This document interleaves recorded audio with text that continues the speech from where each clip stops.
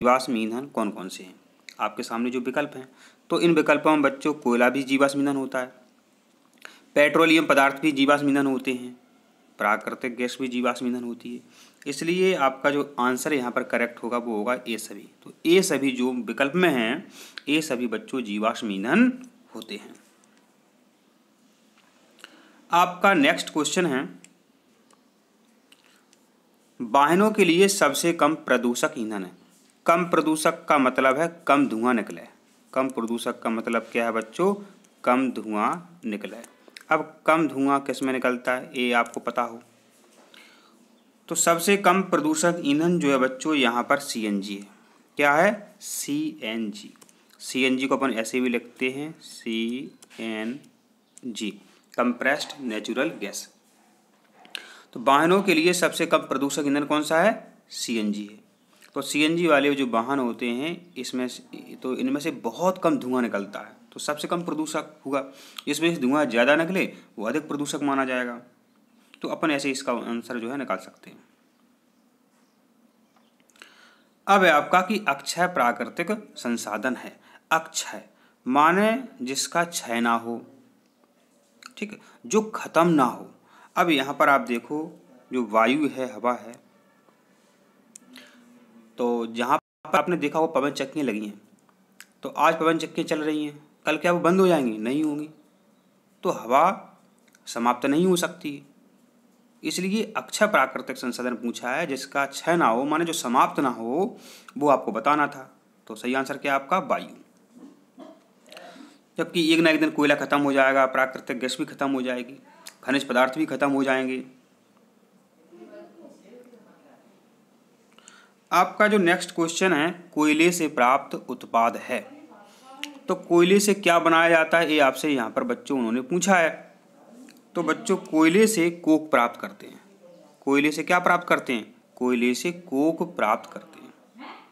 Important है, ध्यान देना। हो कोयले से कोक प्राप्त करते हैं।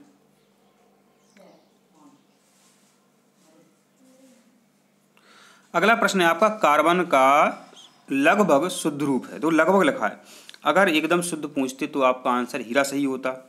तो कार्बन का लगभग शुद्ध रूप आपका कौन सा हो सकता है? तो यहाँ पर आप सोच सकते हैं। तो इसका जो आंसर बच्चों कोक है। इसका आंसर जो है बच्चों है कोक है। कार्बन का शुद्धतम रूप क्या हो सकता है लगभग के रूप में? तो कोक। ठीक है? और कोयले से बनाते हैं कोक। कोयले से क्या बनाते हैं? कोक बनाते हैं। कोक क्या है? लगभग शुद्ध रूप है। एकदम शुद्ध रूप तो हीरा होगा। ये भी आपको यहाँ पर यहाँ पर यहाँ पर आपको ध्यान रखना पूछा या परीक्षा में कार्बन का लगभग शुद्ध रूप है तो कोक आपका आंसर करेक्ट है। अब बच्चों है आपका, बेटा बताइए, आपका प्रश्न क्या है? बेटा बताइए, पेट्रोलियम का कौन सा उत्पाद पेंट बनाने के लिए काम में लिया जाता है? बेटा बताइए, पेट्रोलियम का कौन सा उत्पाद है? पेट्रोलियम से ऐसा कौन सा पदार्थ प्राप्त होता है जिससे घरों में जो आप पेंट देखते हैं वो बनाया जाता है? तो बेटा हो, इसका उत्तर है आपका बिटूमैन। क्या है बिटूमैन? तो बिटूमैन से जो है बच्चों, पेंट बनाया जाता है। घर में आप जो कलई करते हैं, पोतते हैं, पेंट करते हैं, वो बिटूमैन से बनते हैं। बिटूमैन से बनाया जाता है और बिटूमैन बिटूमैन कैसे प्राप्त करते हैं बेटा? पेट्रोलियम से प्राप्त करते हैं बिटूमैन। अगला प्रश्न है, काला सोना किसे कहते हैं? तो बच्चों इसका ये मतलब है, माना सोने का यहाँ तात्पर्य है, कीमती पदार्थ, कीमती वस्तु। सोने जैसी कीमती वस्तु। तो बच्चों, जिस देश के पास पेट्रोलियम पदार्थ हैं, जिस देश के पास पेट्रोलियम पदार्थ हैं, उसके पास सोना हो या ना हो, सोने के बराबर ही उस देश की वैल्यू है। सऊदी अरब देखो, वहाँ पेट्रोलियम पदार्थ हैं, कितना भला देश है। तो इसीलिए काला सोना जो है, पेट्रोलियम को कहा जाता। अब पेट्रोल के रंग आपने देखे होंगे। वास्तव में जब पेट्रोलियम पदार्थ जो शुद्ध रूप में होता है पहले जो इसको प्राप्त करते हैं तो वो काले कलर का होता है पेट्रोलियम। फिर उसका फिल्ट्रेशन होता है, फिर अलग अलग कलर के, चाहे डीजल हो, चाहे पेट्रोल हो, वो आपको दिखाई देते हैं। लेकिन मूल रूप में जो पेट्रोलियम पदार्थ है, वो काला होता है। तो काला सोना किसे कहा जाता है? पेट्रोलियम को। क्योंकि सोने के बराबर इसकी कीमत है।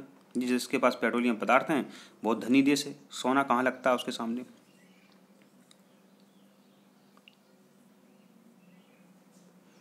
वन्य जीव है प्राकृतिक संसाधन। दो जो वन्य जीव होते हैं, वो प्राकृतिक संसाधन हैं, वो कैसे हैं, वो आपसे पूछा है। तो बच्चों, यहाँ ध्यान दो। वन्य जीव वन्य जीव जो होते हैं बच्चों, ये समाप्त होने वाले होते हैं। वन वन में रहने वाले जीव, जैसे कि वहाँ पर हिरण हो सकते हैं, भालू हो सकते हैं, शेर हो सकते हैं, ये क्या समाप्त नहीं होंगे? ये समाप्त हो जाएँगे। कई जंतु समाप्त भी हो गए हैं। इनको अपन विलुप्त बोलते हैं कि विलुप्त हो चुके हैं। तो वन्य जीव है, प्राकृतिक संसाधन कैसे समाप्त होने वाले? अगला आपका प्रश्न है कि नेपथेलिन की गोलियाँ प्राप्त की जाती हैं। तो नेपथेलिन की गोलियाँ जो बच्चों, कोल तार से प्राप्त की जाती हैं। नेपथेलिन की गोलियाँ बच्चों, कोल तार से प्राप्त की जाती हैं।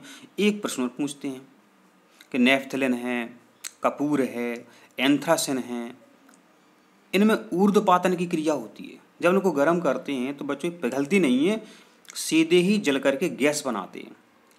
तो ऊर्ध्वपातन की क्रिया किसमें होती है? कपूर में, नेपथलिन में, एंथ्रासिन में। तो नेपथलिन से वो वाला प्रश्न भी बन जाता है, ऊर्ध्वपातन वाला। तो नेपथलिन की गोलियाँ किससे प्राप्त करते हैं? कुल कुलतार से प्राप्त करते हैं।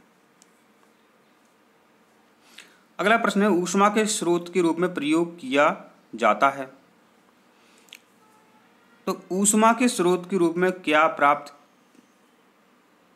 करते हैं और उससे ऊष्मा बनाते हैं? तो बच्चों, इसका आंसर जो है कोयला गैस। इसका आंसर क्या है? कोयला गैस। तो कोयला गैस का उपयोग ऊष्मा के स्रोत के रूप में करते हैं। ऊष्मा के स्रोत के रूप में कोयला गैस का उपयोग करते हैं।